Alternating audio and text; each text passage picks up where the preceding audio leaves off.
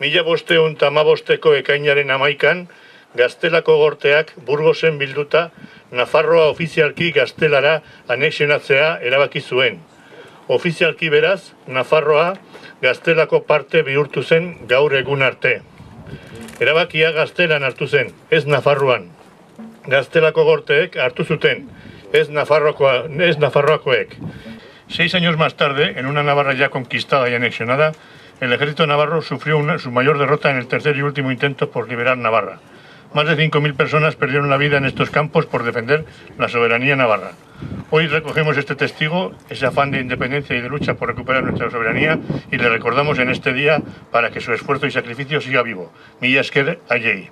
Gaur, e, omenaldia egin diogu, osea, e, hor, e, monumentoan, e, Jose Ulibarrena eskultoreari, berak egin zuen, bere kabuz, bere ekimena izan zen, hor egin zuen monumentoa, eta aurten hori egin dugu.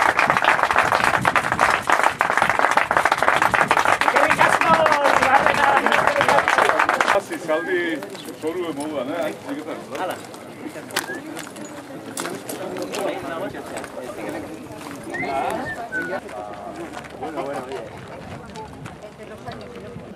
Eta gustatuko litzaiguke baita ere Iruñeko alkatea horre egotea, ze azken finean horrek e, ordezkatzen duen edo simbolizatzen duen momentu hontan bizigean e, aldaketa naia.